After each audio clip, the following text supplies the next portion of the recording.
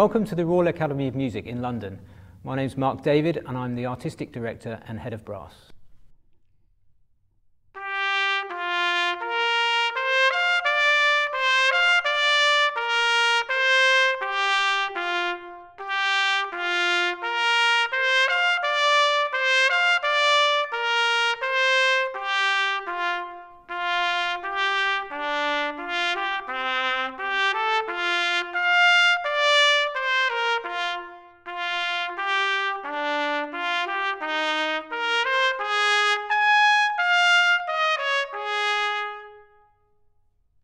The first excerpt I've chosen to play is the promenade from Mussorgsky's, or Ravel's um, transcription of Mussorgsky's Pictures and Exhibition. And um, of course it, uh, it comes up at most orchestral auditions and I've played it many times for many conductors. But very early on in my career, I played it for the great Italian maestro uh, Carlo Maria Giulini. And he asked for it in a very um, particular way, a very lyrical way, uh, which I'd never been asked for before. I think it was in about 1993 he came to the Philharmonia to uh, conduct pictures and exhibition. It was also, as a side note, it was also the last concert uh, with the Philharmonia with David Mason, who was famous for playing Penny Lane with the Beatles. But anyway, um, when it came to uh, start pictures, I started as I normally did, but Giulini stopped me and, and asked me to play more like this.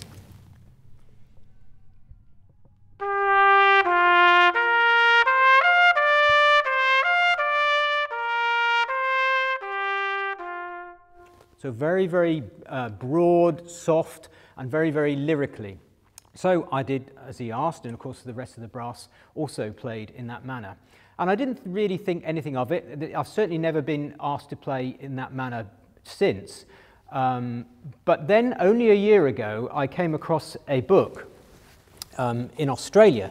Now, it is a book uh, written by a, a chap called Bram Gay, who was a trumpet player and also the orchestral manager at Covent Garden. And he related a story of playing pictures and exhibition for Giulini um, in the 1970s and having a conversation with him about it. And Giulini um, said, um, referred to the score, and the directions are senza allegrezza, which most people seem to think is related to the tempo because it sounds rather like allegro or allegretto, but it actually means without happiness or without joy. And um, he asked the Bram Gay, he said, you know, what is this supposed to portray? And of course, like any A-level student, he said it's a man walking around a gallery. And Giulini said, yes, but what kind of man? I think I know your man. He is beautifully dressed, a fine suit, silk tie with a pearl pin, nice haircut, shoes shining. He is the curator of the picture gallery and he is walking around looking at the pictures and saying, What lucky people live here that they have a clever man like me to choose their pictures. He is Pomposo, your man. I had to admit that he had my man to a T. So then Giulini said, Now let me tell you about my man. Have you ever been to Milan on a wet Sunday? Milan is a bad place on Sunday in the rain. There is nowhere to go except church. Well, my man is at Milan station on a wet Sunday and he has missed his train. There is no train for two hours. His suit is poor, his raincoat is soaked, he has holes in his shoes. He looks across the street from the station and he can see the art gallery. He knows nothing about pictures and cares nothing.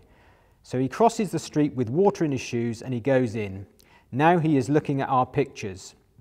Here, the maestro rose from his chair, turned up his collar, and walked around the room looking for all the world like a tramp with leaky shoes, bored out of his mind. Can you see my man? This, as it says, is Senza Allegrezza. And so I think, whilst I don't play it like Giulini asked me to with this very, very legato, I think it's important to get the idea that there is no joy or happiness in this. There are a lot of very famous recordings, maybe with Russian uh, conductors, where it has this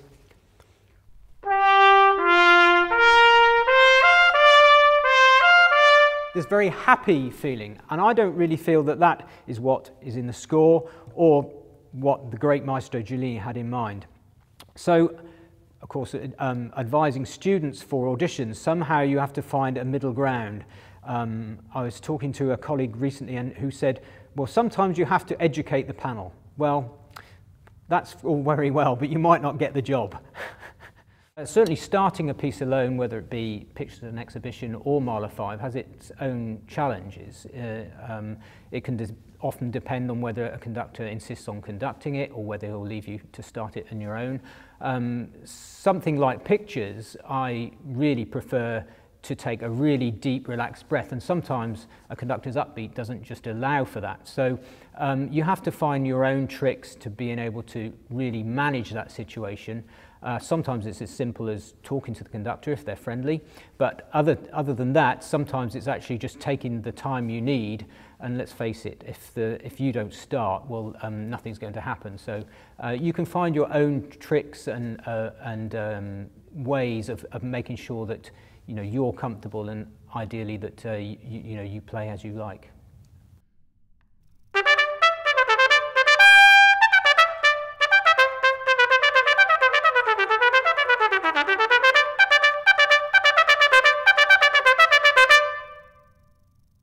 The second excerpt I'd like to uh, talk about and play is the Ravel Piano Concerto in G major.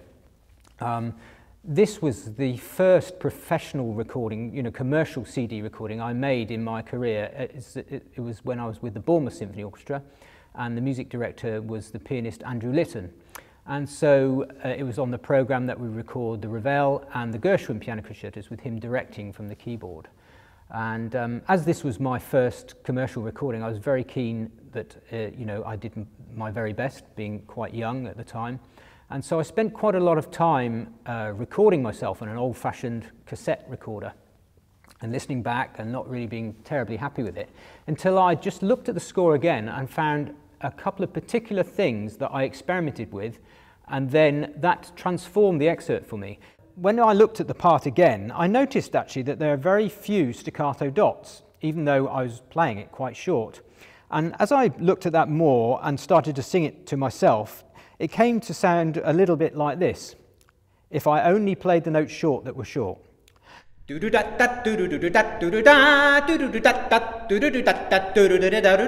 Which has a sort of little jazzy feel. And so when I then tried to emulate that, emulate that on the trumpet, first of all, slowly.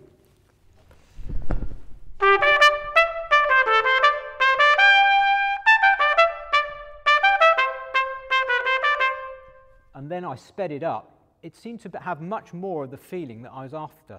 So my approach is to play everything long apart from the notes that I've got staccato dots on. And at speed, that seems to work best for me. As I said earlier, I passed that on to some students who seem to like it and others um, are not so keen. So ultimately, um, please yourself. I've never been a particularly subscriber to the idea of the, the principal trumpet as the alpha male basically leading everything from the front, if you like. I've been much more um, of the mind that you are part of a brass choir and yes, you might be the soprano voice of that brass choir, but um, let's face it, we've all heard choirs with overpowering sopranos. So it's, it, you know, I prefer to be, yes, of course, the leading voice in a brass choir, but I don't subscribe to this view that you have to overpower everybody else. Also, there are changing traditions in individual orchestras. Uh, when I joined the Philharmonia Orchestra in the early 90s, my immediate predecessor was John Wallace. um, his predecessor was David Mason, his predecessor was Philip Jones, all who played with a very elegant, balanced approach to the, to the trumpet and, and their general section playing as well. Uh, the trombone players also uh, had a very, very noble, warm sound. And so I think, you know, uh, that's what I adopted. I, I, be, I became entranced by that Philharmonia tradition that, again, had been cultivated by Karajan, Giulini, Muti, uh, Sinopoli, Dohnányi, all very, very much in the Central European tradition. My approach to the trumpet and my approach to section playing was very much informed by the tradition that I wanted to, to maintain and become part of. All orchestras are much more cosmopolitan now and they have much less of a, a national identity. Um, I, I think that is also a very good thing, but uh, that for me at that time, I wanted to take forward a tradition And so that's why I adopted, you know, this very much um, more rounded approach to the trumpet than um, maybe I would otherwise have done. I almost discovered by accident that, that um, running in particular helped my trumpet playing. I remember coming home from work and as all trumpets, trumpet players do, complaining about this, that and the other, that I didn't feel that things were going well. And, um, and my wife said to me, um, well, the thing is you haven't been running for a while. And I rather irritatingly sort of said, well, what's that got to do with anything? And she said, well, you always complain about your trumpet playing when you haven't been running for a while. And so the penny dropped. And so I started to, you know, run more regularly. And certainly I did feel, started to feel a lot better about my trumpet playing. I think that the important thing is for me to say is that it is an individual thing. Not, you know, I'm not prescribing this to everybody, but for me personally, um, I find it releases a lot of physical tension that um, I like to release in order to play the trumpet at my best. And so, uh, whilst that, you know, that was an accidental discovery, it's something that I've carried on for 25, 30 years. And um, I started to become more um, involved in different sports, cycling, triathlon, swimming, uh, skiing, and uh, my basics failing, if you like, is that I obsess about everything I do. And so I wanted to take all those disciplines as far as I could. And I went as far as training to instruct in skiing and uh, competitive Ironman and things like that. And in doing that, I discovered a lot of parallels. The guided self-discovery is more to do with uh, realizing that, again, this came from my ski teaching training, that uh, yes, you can tell somebody, somebody something, you can show somebody something, but ultimately they remember it and assimilate it best when they discover it for themselves. And so it's constructing, again, exercises or drills or scenarios which guide them where you would like them to go, where they ought to go, without them particularly being aware of it. And having discovered the effects themselves of the exercises you've given them, uh, they're much more likely to remember the sensations that they need to apply um, later. At this level, at a conservatoire level or you know semi-pro or professional level, the differences in sensation between um, yes, playing well and then playing well but really, really easily are minute. And often it's a case of directing the student's attention to these minute sensations that is the, the important thing. I think there are two aspects. The, there's the trumpet playing side, there's a technical side, and obviously the, which is in tandem with the musical side, playing the excerpts and the pieces and knowing them inside out. But and then of course in an audition situation, there's the mental or, or uh, psychological side as well. Often they're so closely connected um, that I think it's, but it, it is very, very important to deal with them. It, again, it can be, it's a very individual thing uh, with each individual student. Um, critical is that you, they prepare as thoroughly and as carefully as they can, and that they're not taking, they're not taking an audition that may be beyond them, that basically they, that an audition is a positive experience always. Um, that's not always easy when, uh, you know, jobs come up so rarely and students are anxious to you know, practice their technique and to, to, to have a, a chance. But um, I think there are plenty of auditions where that's a good idea, but there are also plenty of auditions where you know, I would advise a student against applying if uh, I didn't think it was in their interest at that stage of their development. Um, but um, we do a lot of mock auditions here at the, at the Academy. They maybe play five or six auditions uh, every year um, in different scenarios. Some are screened, some are open. And I think ultimately it's getting the practice at those auditions that is the most beneficial thing. So one of my favourite runs from the Academy is into Regent's Park, through Regent's Park and um, up to Primrose Hill. When you get to the top of Primrose Hill, you've got an amazing view of the city. And it's a little bit like being in an airplane, looking down on these tiny boxes and these little tiny ants that are actually cars with maybe four or five people in. And you get a sense of perspective that uh, maybe in one of these tiny boxes there's somebody fretting about a particular excerpt on the trumpet. And it, it gives you a sense of perspective that, uh, you know, uh, often we get wound up in how important our little individual part is. Even within the, the context of an orchestra, that we can often get that out of proportion. And then in the, in the sense of, of the, the universe, of course, it's a much less um, important part. So I think, again, getting a perspective in terms of what we're doing is important. Um, uh, we're hopefully we, we went into this business because we love music and we continue doing it because we love music and the best way to enjoy it is to keep loving it and not to worry about it too much. So the sound that I want to make on the trumpet really differs depending on what I'm playing, whether I'm playing solo pieces or chamber music or you know big orchestral pieces or maybe a classical symphony. So the, the sound changes and what I'm looking for in a trumpet is something that enables me to do all those things or you know put it more bluntly, something that gets in the way as least as possible for, to realize what's in my head. Um, so if I'm playing a Bruckner symphony and I want to make a dark, broad sound, um, I can do that. If I'm playing um, a French concerto, I can make a bright, sparkly sound and the trumpet enables me to do that.